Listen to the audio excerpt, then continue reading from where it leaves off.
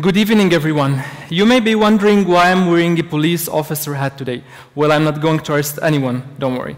But today I'm going to talk about the most important police forces in our bodies, which are the immune cells. Our immune cells work day and night, going down, going up from one organ to the other to find pathogens, microbes, dangerous bodies, catch them, and destroy them. However, when it comes to cancer cells, it seems that our immune system is not able to fight cancer. Why is this happening?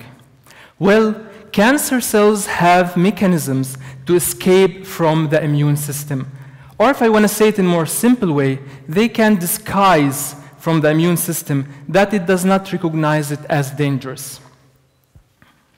This is why scientists has thought of a very smart idea to help the immune cells find and destroy the cancer cells.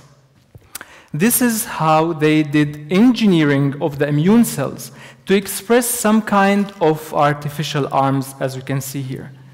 These arms can recognize special structures on the surface of tumor cells. Then they can go, search, find tumor cells, destroy them. This technology is called the CAR technology. It showed a lot of success in clinical trials, especially with patients of blood cancers or leukemia.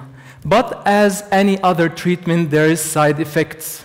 So what are the side effects with these guys? These guys, when they find the tumor cells, sometimes they become overexcited, very proud, and they work more and more and proliferate and increase in number. Then they not only harm the tumor cells, but also the patient. This is why in our group we are working in a way to make these cells switchable. So off, on, off, on, on when we need them for therapy, and off when there is side effects.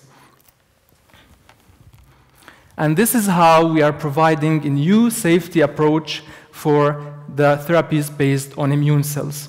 And at the end, what I would like to say that engineering of immune cells appears to be one of the most promising approaches for the new treatments of cancer. Thank you.